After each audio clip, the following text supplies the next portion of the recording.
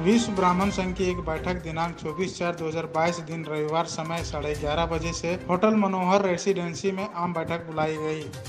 इसमें मुख्य अतिथि विश्व ब्राह्मण संघ, झारखंड प्रदेश के मुख्य महासचिव सह सदस्यता प्रभारी प्रदीप कुमार शर्मा की अध्यक्षता में संपन्न हुई। सर्वप्रथम मुख्य महासचिव प्रदीप कुमार शर्मा नवीन पाठक को बुके देकर रंग वस्त्र ओढ़ाकर सम्मानित किया गया। उसके उपरांत रामगढ़ जिला कमेटी का गठन सर्व समिति से जिला अध्यक्ष महेश मिश्रा, महासचिव रविशंकर राय, कोषाध्यक्ष गोकुल शर्मा, उपाध्यक्ष महेंद्र दुबे, अरविंद पांडे, सचिन विजय प्रताप इत्यादि लोगों का चयन किया गया तथा दिनांक 8 पाँच 2022 को भगवान परशुराम जन्मोत्सव पर भव्य शोभा यात्रा एवं गोष्ठी सह अटूट भंडारा किया जाएगा। मंचन का संचालन रवि मिश्र और धन्यवाद ज्ञापन राजीव ठाकुर ने किया।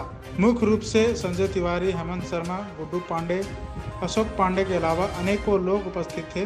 अंत में सभी नवनियुक्त पदाधिकारी को बुक्के देकर सम्मानित किया गया। नारी शक्तियों में काफ़ी उत्साहित देखा गया। रामगढ़ में नारी शक्ति बहुत ही सशक्त बनकर उभरेगी, ये हम लोग का प्रयास रहेगा। एक राष्ट्रीय में रजिस्टर्ड संस्था है, और इसकी हेड ऑफ़िस दिल्ली है, और इसके चेयरमैन श्री मांगे राम शर्मा जी हैं, वो गुड़गांव में रहते हैं। प्रदेश राष्ट्रीय अध्यक्ष मिस्टर के सिंह पांडे। वो दिल्ली में रहते हैं।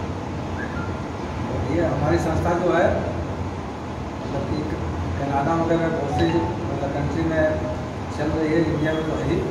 और हम लोग का ध्येय है मतलब सर्व ब्राह्मण को एक करके चलना।